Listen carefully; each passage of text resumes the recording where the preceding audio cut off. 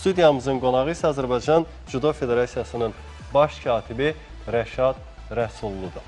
Rəşad Xoş gördük, sabahınız xeyir. Sabahınız xeyir. Çox sağ olun dəvətə görə. Təşəkkür edirəm.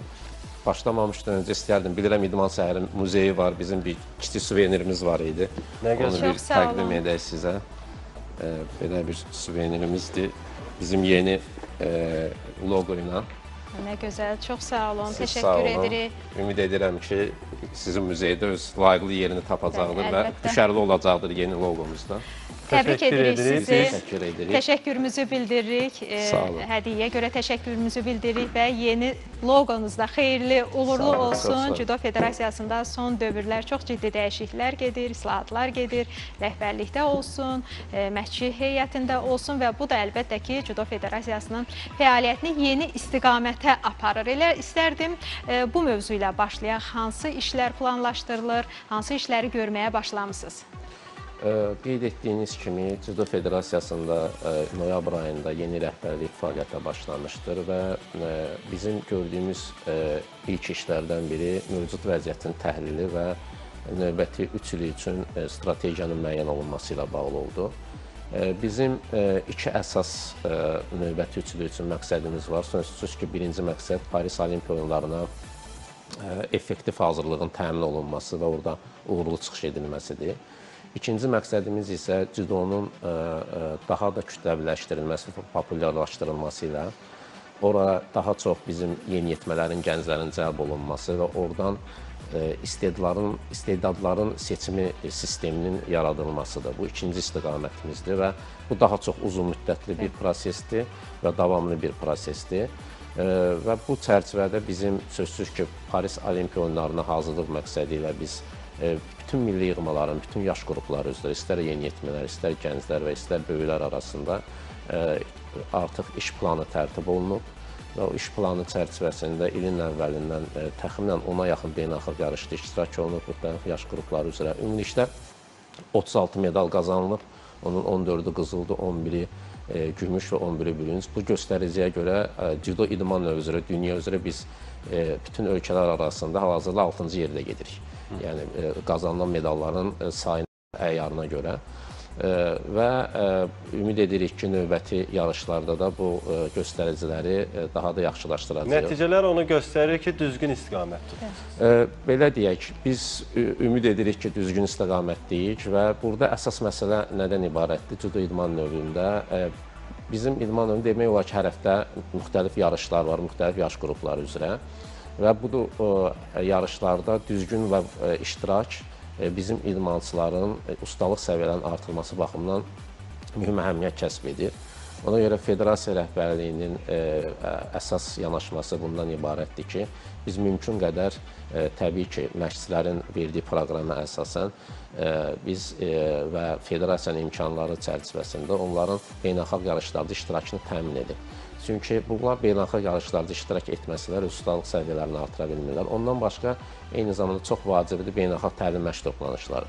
Biz yenə də ilin əvvəlindən etibarən həm daxili, həm beynəlxalq təxminən 15-ə yaxın beynəlxalq təlim məşq toplanışlarında olublar.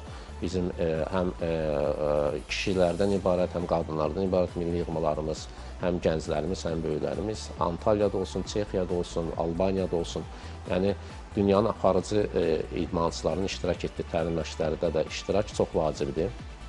Bundan başqa bizim atdığımız çox önəmli addımlardan biri e, performans direktor vəzifəsinin təsis olunması oldu. Bu özlüyündə e, ümumiyyətlə judo idman növündə yeni bir yanaşmadır və bu e, yanaşma e, e, bütün biz təhlil elədik aparıcı judo ölkələrinin e, təcrübəsində bu və digəratda vardır. Bu e, iş, e, bu e, belə deyək vəzifədə olan şəxsin əsas öhdəliyi ondan ibarətdir ki, e, idmançıların e, maksimum dərəcədə e, performansını e, belə deyək e, artırmaq. Söhbət yəqin ki, fiziki hazırlıqdan Yox, gedir. Ümumiyyətlə nə deməkdir? o fiziki hazırlıq deyil tək. Orada daha çox e, performans analizidən gedir. Rəqiblərin analizi, sizin e, öz idmançılarınızın analizi. Onlar məsələn dediyim kimi çoxlu yarışlar var. Siz idmançını hər ay yarışa göndərə bilməzsiniz, çünki o tükənə bilər. Və onu elə bir yarışa göndərməlisiniz ki, o həm həmin dövrdə e, yaxşı bir formada olsun və eyni zamanda oradan mü- müvafiq lisenziya xallarını qazana bilsin. Çünki bilirsiniz ki, Cüdo idman növündə olimpiya oyunlarına getmək üçün siz ə, yeni qaydalara əsasən ilk 17-likdə olmalısınız dünya ə, dünyada. Ona görə həmin o yarışların seçilməsidir. Oradakı rəqiblərə görə hansı idmançıları göndərməkdir. Daha sonra ə, məşqçilərlə işləmək. Çünki bütün məşqçilər bütün yaş qrupları üzrə həmin performans direktora hesabat verirlər. Məşq proqramlarını düzgün belə deyək, təşkil edilməsi. Kimdir bu direktor? Bu Mak Van der Ham biz dəvət elədik. Mak Van der Ham ə, ə, yeni nəsil ə, məşqçilərdəndir. Onun son iş yeri Belçikanın belə baş məşqçisi olmuşdu. Ondan əvvəlsi Niderland yığmasında baş məşqçi kimi çalışır. Və biz ona çox böyük ümidlər bəsləyirik və eyni zamanda bununla yanaşı biz kişilərdən ibarət milli yığmaya da baş məşqçi kimi Almaniyalı mütəxəssis Richard Trautmanı da dəvət elədik. Richard Trautmann kifayət qədər tanınmış mütəxəssisdir. Almaniya yığmasının bütün yaş qruplarında baş məşqçi kimi çalışır və son 5 ildə də Almaniya milli yığmasının baş məşqçisi idi. Və özü də bir idmançı kimi iki qat olimpiya mükafatçısı olan bir idmançıdır. Və ə, onlar artıq martın 1-dən fəaliyyətə başlayıblar. Təbii ki, hələ tezdir onların fəaliyyətinin qiymətləndirmək. Müəyyən bir müddət keçməlidir ki, biz nəticələri görək. Amma nəyi deyə bilərik ki, biz çox şadıq ki, bizim məşqçilər heyəti, həm yerli məşqçilər heyətimiz, həm bizim idmançılar artıq kifayət qədər bir işgüzar bir e, iş mühiti formalaşır və Alman mütəxəssisin gəlişindən sonra ümumiyyətlə yerli məşqçilərlə bağlı dəyişikliklər ola bilərmi? Məsələn, o özü xaricdən bir məşqçi təklif etsə. Ə, Bilirsiniz, bu ola da bilər, olmaya da bilər. Mən indi bu dəqiqə deyə bilmərəm ki, ola bilər. Amma bizim ə, əsas ə, tələblərimizdən biri də ondan ibarət ki, bizim məşqçilər heyətində yerli məşqçilər mütləq olmalıdır və bizdə əvvəlki tərkibdə olan məşqçilər heyəti olduğu kimi qalıb. Yerli məşqçilər onlar fəaliyyətlərini davam etdirirlər bir yerdə. E, Çünki kommunikasiya da çox önəmlidir o, o baxımdan və eyni zamanda onların özlərinin yetişməsi baxımından da bizim e, fikrimizcə bu sinerjinin olması Azərbaycan cüdo nənəsi olan bir ölkədir. Azərbaycan belə bir boş bir e, cüdo belə deyək yer deyil ki, biz orada deyil e, və bizim bir cüdo nənəmiz var. O cüdo nənəsi ilə bu Avropada cüdoya sistemli yanaşma, elmi yanaşmanın sintezi və sinerjisi nəticəsində biz əminik ki, uğurlu nəticələr əldə olunacaq. Rəşad müəllim, məsələn, yerli məşqçiləri qeyd elədiniz, məsələn, milli komandanın heyətində hazırda məşq gün fəaliyyət göstərir. Məsələn, kimlər fəaliyyətini davam etdirəcək və yaxud kimlərin adını qeyd edə bilərdiniz? Valla hamısı fəaliyyətini davam etdirir. E, Biz ki, əvvəlki bizim baş məşqçimiz Mövlud müəllim Əliyev idi. Mövlud müəllim böyük məşqçi kimi fəaliyyətini davam etdirir. Elçin müəllim İsmailov e, böyük məşqçidir. Mehman müəllim Əzizov e, fəaliyyətini davam etdirir. Zahir müəllim Babayev fəaliyyətini davam etdirir. Bunlar böyüklərdən ibarət milli yığmanın belə deyək. Yəni orada heç bir dəyişiklik yox. Yox, heç bir dəyişikliyimiz olmayıb. Sadəcə bir böyük məşqçi gətirilib. Bir Alman baş məşqçimiz məşqçi. Bəli. Baş məşqçimiz isə Mövlud müəllim əvvəlki oldu böyük məşqçimiz və biz eyni tərkibdə yolumuza davam edirik. Digər yaş qruplarında isə e, olduğu kimi e, davam edir. Eyni zamanda qadınlardan ibarət milli yığmanın baş məşqçisi də Rəşad müəllim Məmmədovdur. Bəli. Yəni bütün struktur artıq formalaşmağa başlayıb və əlbəttə ki, qarşıda qoyulan Bizim planlar var, planlarımız tələblər var. var. e. Yeni mütəxəssislər cəlb olunması, bu xüsusilə fiziki hazırlıq qeyd elədiniz. Fiziki hazırlıq üzrə ayrıca bir məşqçinin cəlb olunması planlaşdırılır. E, Nutritionist dediyimiz, yəni qidalanma üzrə vitaminləşdirmə üzrə xüsusi mütəxəssisin cəlb olunması biz planlaşdırırıq. Performans analiz üzrə, e, bilirsiniz, performans analiz cüdoda kifayət qədər artıq öz tətbiqini baş ta tapıb və xüsusi proqram təminatlarından istifadə olunur. E, və e, mən sizə məsələn Braziliya Cüdo Federasiyasının təcrübəsini deyim. Orada e, təxminən təkcə ana, ana analiz sahəsində 20 nəfər mütəxəssis çalışır. 20 analitik çalışır ki, onlar müxtəlif idmançıların, müxtəlif rəqiblərin görüşlərini e, onlayn, yəni canlı olaraq təhlil edib e, yerindəcə məşqçilərə o e, məlumatı verirlər, datanı verirlər və məşqçi təbii ki, o datadan istifadə edərək müəyyən qərarlar və taktiki, texniki e, tapşırıqlar verir öz idmançısına.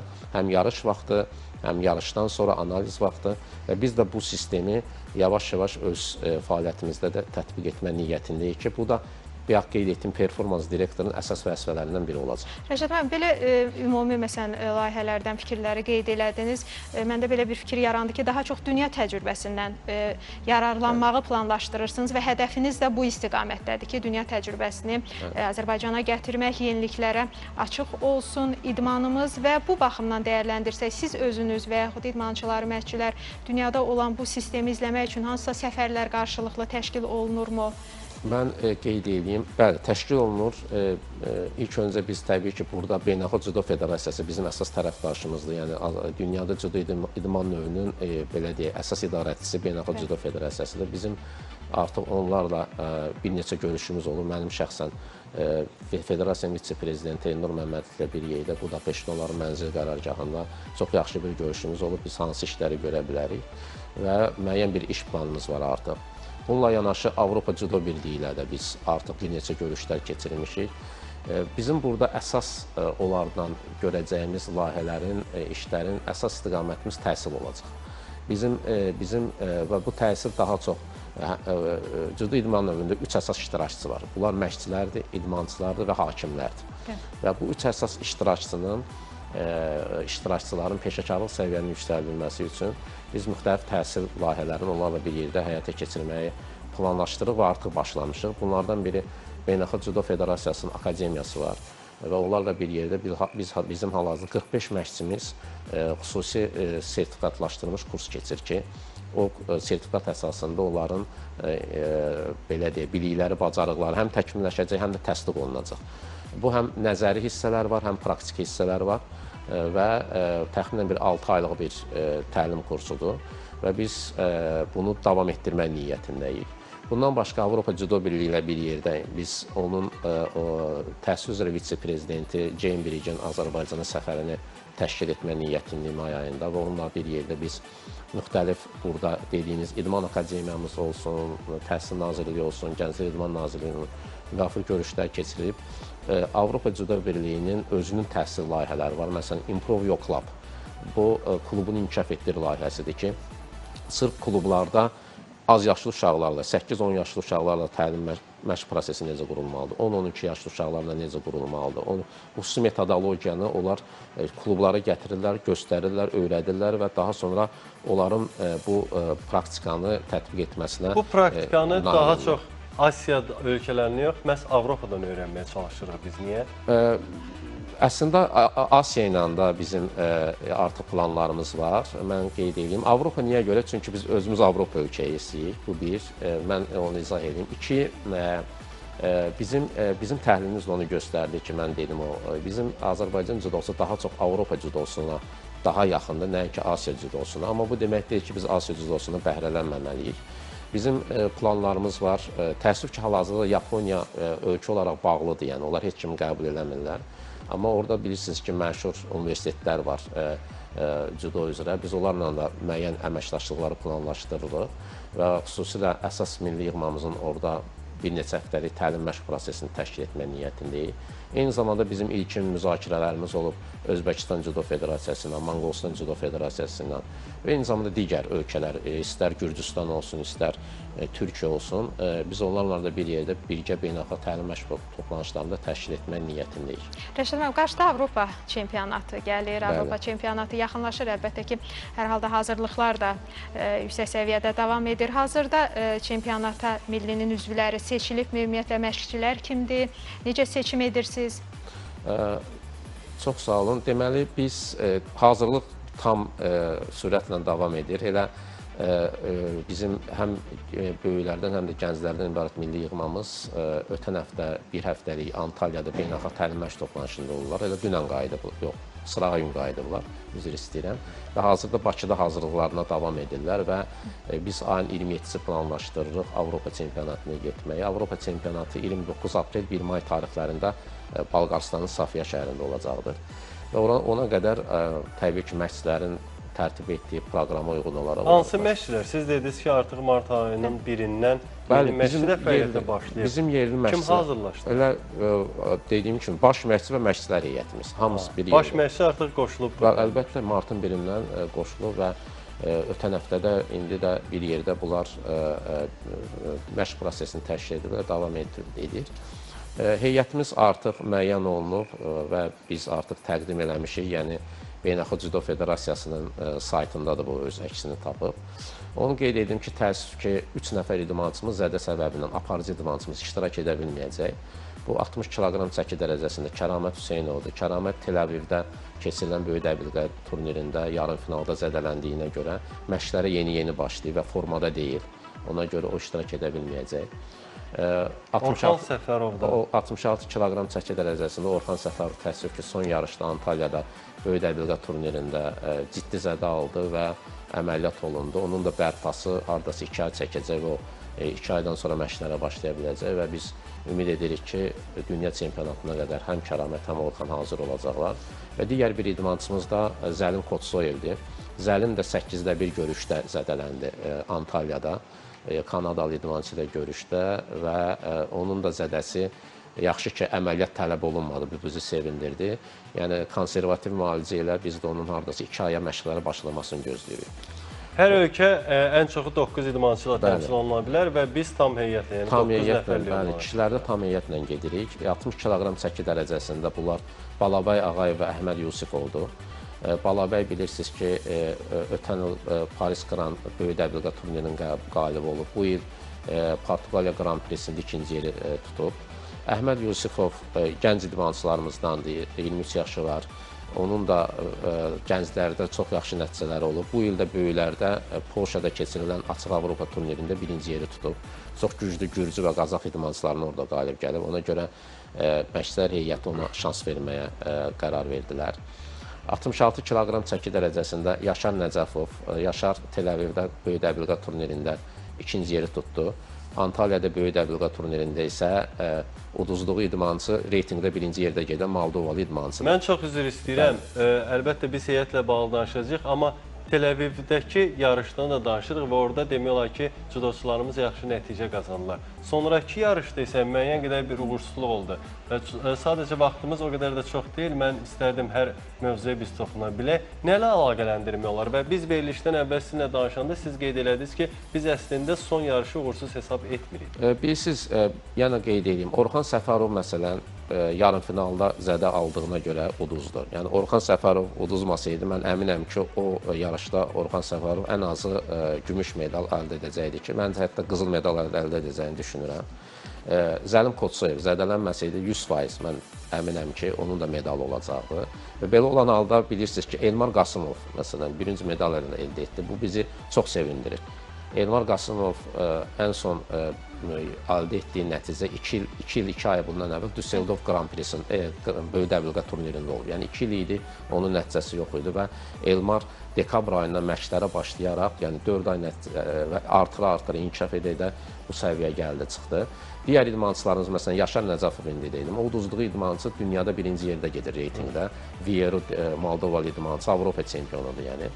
Yəni və ona da ə, elə uduzmadı, yəni Golden Score-da uduzdu, yəni belə deyək. Yəni bir sözlə daha çox uğur qazana bilərdi. E, Müxtəlif səbəblərdən bir də nəzərə alın ki, bizim idmançılar ora çox ciddi bir e, təlim məşq toplanışından yüklənmədən sonra getmişdilər. Biz ondan əvvəl təxminən 2 həftəlik onlar Göygöldə təlim məşq toplanışında olmuşdular. Burada daha çox bizdə bir eksperimental da tərkib var idi. Biz əslində bunu indi qarşıdakı yarışda görəcəyik. Çox təəssüf ki, art- artıq vaxtımız bitir. Çox maraqlı mövzulara toxuna bildik. Təşəkkürümüzü bildiririk, bəli. ki, artıq sağollaşmalıyıq. Hörmətli tamaşaçılar, daha bir verilişimizin sonuna gəldik, amma sabah elə eyni vaxtda yenidən birlikdə olacağıq.